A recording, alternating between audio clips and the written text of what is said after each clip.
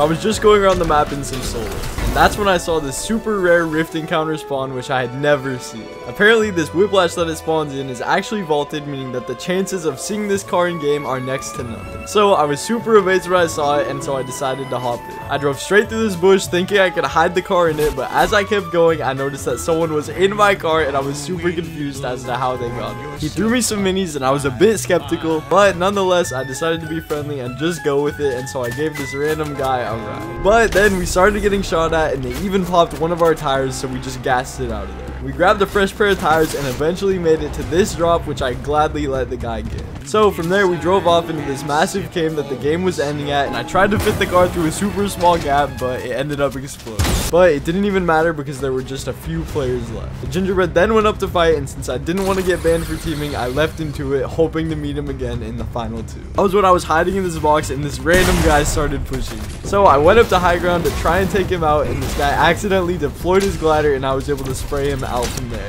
But at this point, there was just one guy left, and I figured the gingerbread was dead, but when I dropped down, he was the last player alive. I ended up surrendering to him by crowd and all of my loot and gave him the win, and he quickly accepted. I went back to check the replay, and apparently the way he got in the car was from hiding in the bush that I drove the car through, but I sent him a friend request. Unfortunately, this guy didn't add me, but it turns out that this happened to be his first win of the season, and also, we're giving away a thousand more V-Bucks for the new year in my Discord, so the link is in the comments.